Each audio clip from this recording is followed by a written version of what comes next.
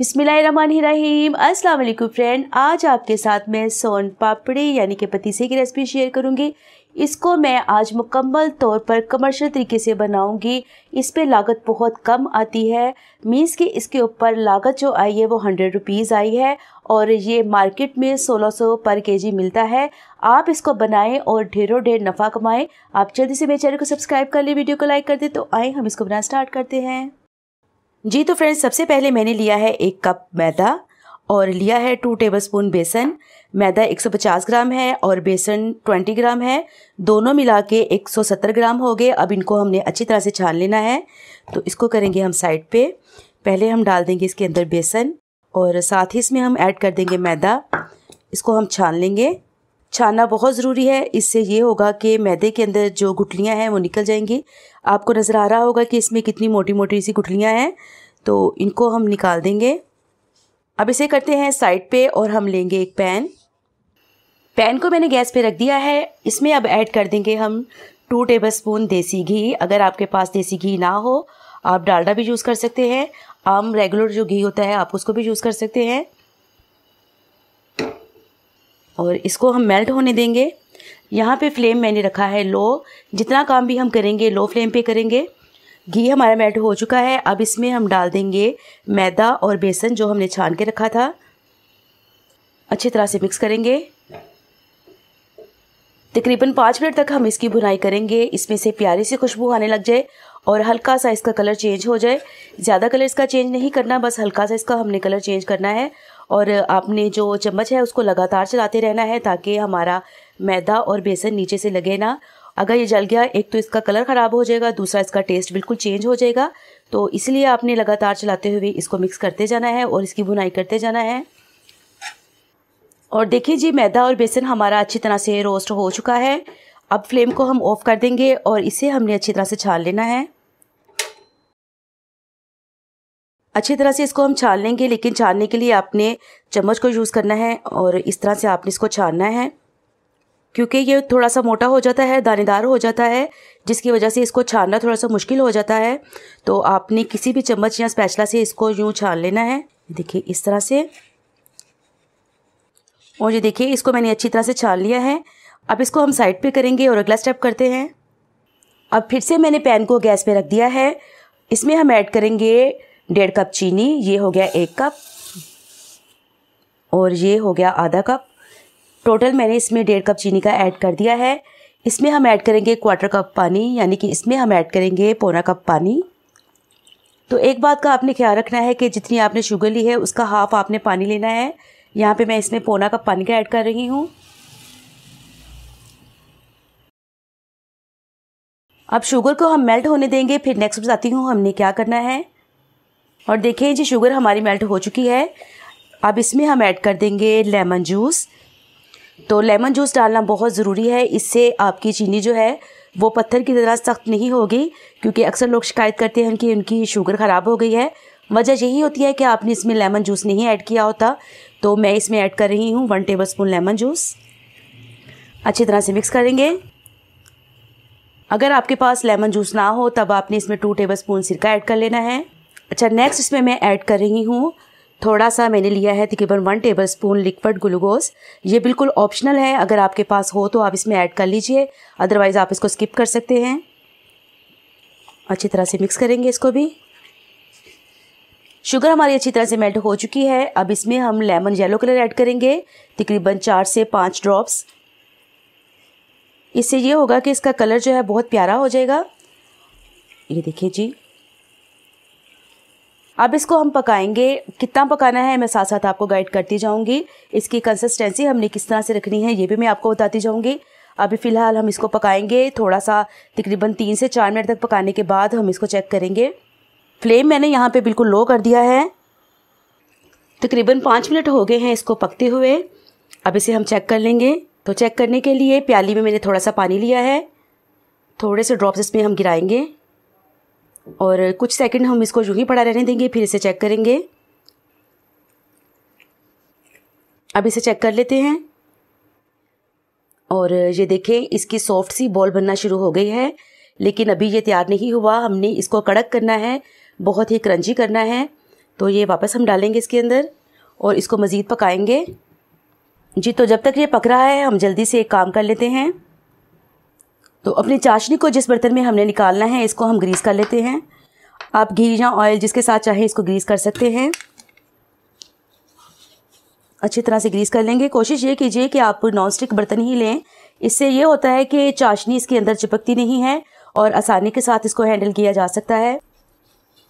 और देखें, हमारा बर्तन ग्रीस हो चुका है। अब चलते हैं अपनी चाशनी की तरफ़। थोड़ा सा इसमें हम इलायची पाउडर ऐड कर देंगे। अगर आप चाहें तो इसको स्किप कर सकते हैं। तकरीबन दस मिनट हो गए हैं इसको कुक होते हुए, दोबारा से इसको चेक कर लेंगे। तो इसके थोड़े से ड्रॉप्स में गिराऊँगी पानी के अंदर। ये हो तो गया है, लेकिन अभी ये क्रंची नहीं हुआ। ये देखिए, इसकी तार सी बन रही है। तार बिल्कुल भी नहीं बननी चाहिए। जब हम इसको तोड़ें तो हमारे हाथों के साथ ये टूटना चाहिए। थोड़ा सा इसको और कुक करेंगे। तकरीबन इसको 18 से 20 मिनट हो गए हैं कुक होते हुए। अब इसको दोबारा से चेक कर लेते हैं। कुछ सेकंड तक इसको यूँ ही पड़ा रहने देंगे।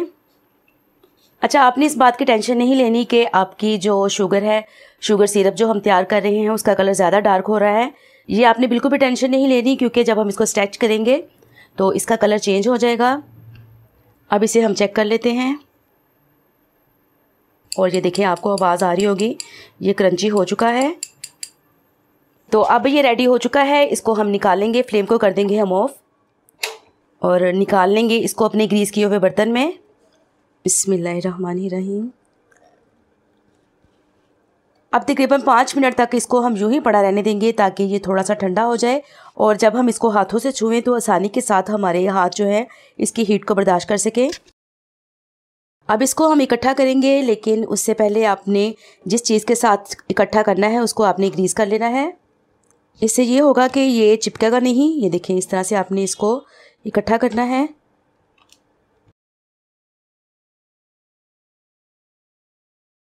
अच्छा जी, ये इतना ठंडा होना चाहिए कि जब आप इसको टच करें तो आसानी के साथ आप इसको हैंडल कर सकें, आसानी के साथ आप इसको हाथों में पकड़ सकें।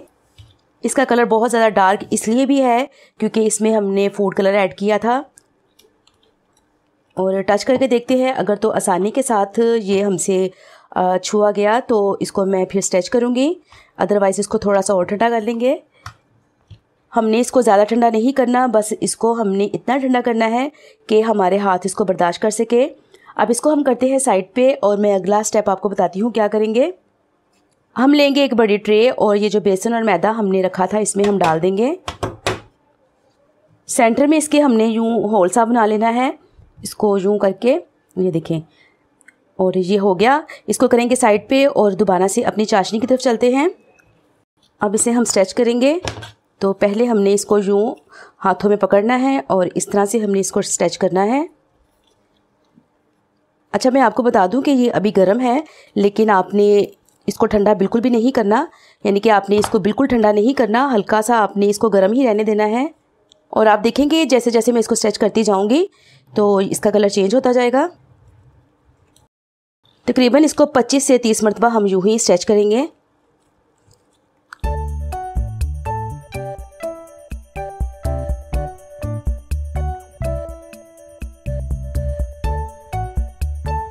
ये जो आपको इसमें ये डॉट्स नज़र आ रहे हैं, ये इलायची के दाने हैं।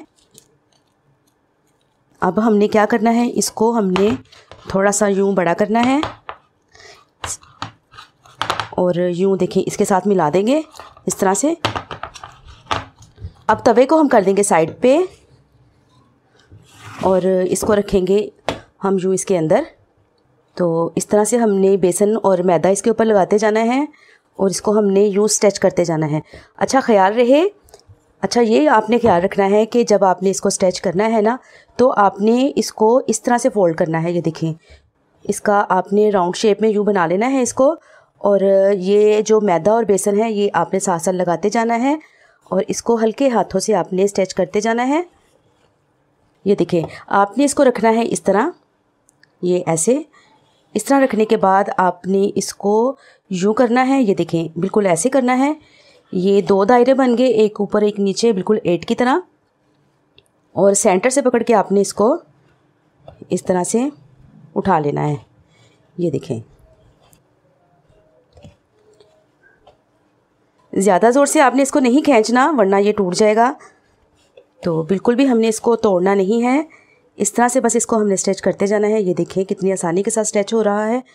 और ये जो मैदा और बेसन है, इसको उठाएँगे और इसमें हम डालते जाएँगे। अच्छा आपको यहाँ पे जो बर्तन लेना है, वो थोड़ा सा बड़ा बर्तन लेना है ताकि जब आप इसको स्ट्रेच करें तो आसानी के साथ ये इसमें पूरा आ सके। ये देखें ऐसे।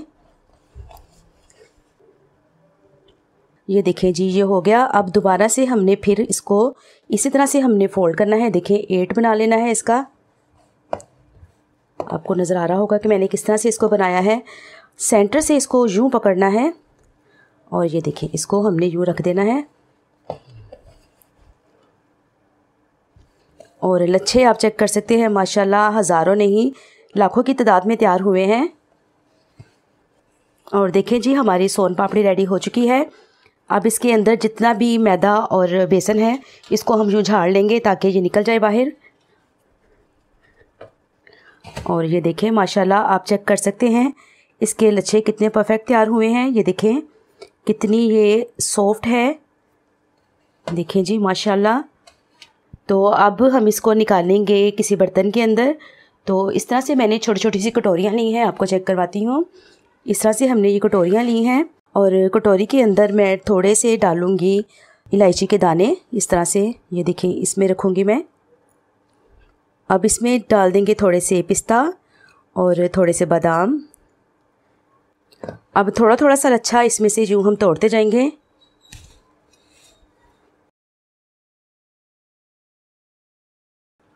ये देखिए, मैं आपको निकाल के दिखाती हूँ, आप चेक कर सकते हैं। इसको रखेंगे ट्रे में। ये देखें, माशाल्लाह कितना परफेक्ट तैयार हुआ है। इसी तरह से सारे लच्छे हम निकालते जाएँगे और इसको हम ट्रे में रखते जाएँगे।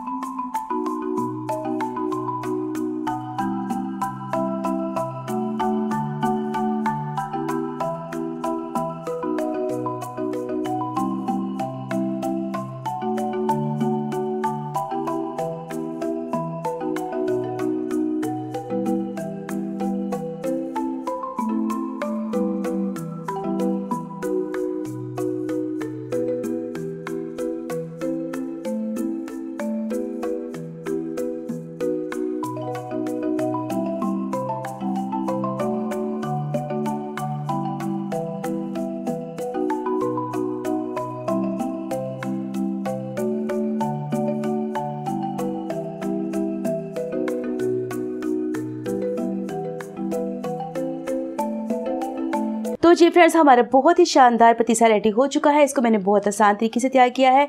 आपने पूरी वीडियो को बगैर स्किप किए हुए वॉच करना है। और वीडियो अच्छी लगे तो वीडियो को लाइक एंड चैनल को सब्सक्राइब कीजिएगा। अल्लाह हाफिज़।